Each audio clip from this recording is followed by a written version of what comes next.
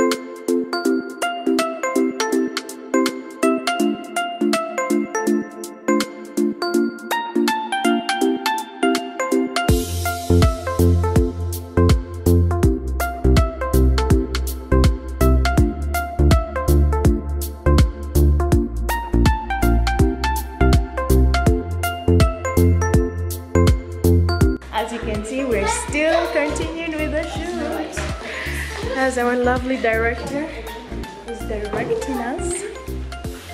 Yes. So so far, none of the kids uh, Crying. uh, are crying.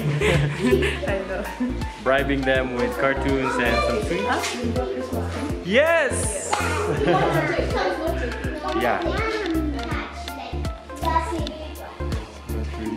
Oh, Christmas tree.